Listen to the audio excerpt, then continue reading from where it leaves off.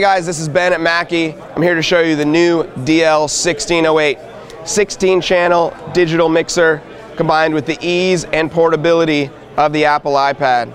As you can see, the main user interface to our mixer is the iPad and that's where the power comes from, but let's talk about the hardware first. That's where all the digital processing, the analog conversion, the mixing happens. We have 16 of our famous Onyx mic pre's. All of those are on XLR with four of them on combo jacks. We have six aux ends and your main left right. All of the input processing. We have EQ, comp, and gate on every single input.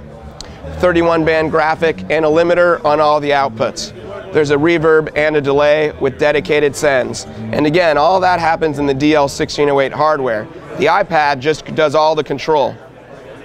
The iPad can be used in two different configurations. I have it slid into the tray here and it is connected over the dock connector, uh, give me wired operation. I have an optional lock here to keep it in place, but the fun happens when I remove that and slide the iPad out and go wirelessly. I have a second iPad here connected wirelessly, so as you can see, two iPads can be used at once on the same mixer. In fact, up to 10 iPads can be connected wirelessly to the same console. This is great. You have a front of house engineer can mix while a monitor guy walks uh, and tunes the wedges. You can have every member of the band mixing their own monitors from an iPad on stage while the front of house guy does front of house and walks around the room. So very, very uh, flexible and it, your, you know, your ideas just start to flow when you think about all the different possibilities that a wireless mixer provides. But let's dive in and look at the interface. As you can see, it's uh, very simple to use, very familiar to anyone who's ever mixed uh, anything before, but it should be very easy to pick up for someone who has never mixed before. Let's take a look. First, you see we have eight faders on the screen at once. These can be swiped left and right to show me my input channels, 1 through 8, 9 through 16. My master fader remains on the right side, always available, so I always have control of that master. You can see I can load channel icons onto the channels, help me identify that channel. There's my keyboard channel. I can even load images taken from the iPad camera onto the channel, making channel ID even easier. Let's talk outputs. Right now, I'm looking at my left-right mix, and the faders are showing me my left-right sends. Swiping up, that gives me my aux1 mix and the aux1 master. Swipe up again, aux2 mix, aux2 master. Very fast to go back and forth, or I can just jump from one to the next, skipping all those in between. All the channels have what you'd expect. I got a solo, a mute at the top, pan.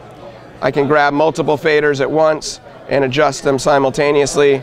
You'll note the faders grow and glow, giving me nice confident feedback that they're under my control. That's the mix view. If I want to adjust some channel processing, I simply hit the EQ at the top of the channel when I release, I switch over to that EQ view. Master fader is still there on the right side, always available. Channel fader on the left.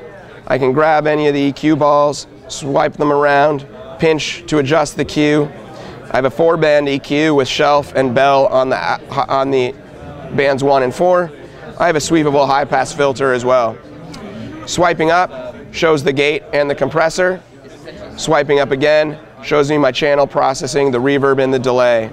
Swipe back down. I can even go forward and back to the next and previous channels. Pressing mixer takes me back. Finally, press the graphic, and there's my graphic EQ for the main left right. Swipe up, there's the output limiter on the, out, on the main left right. As I said, I have graphics on every single one of my outputs. Finally, the iPad that is connected wired to the mixer has a 17th channel for playback. This is the iPad channel. I can stream music from the iPad for intermission music or to stream backing tracks that I may be integrating in with my sound set.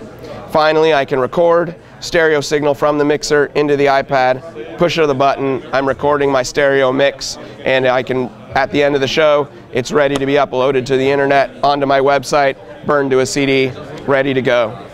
There's lots more to tell you about the DL1608. I've just barely scratched the surface, so please check it out as soon as you can. Mackie.com, the new DL1608.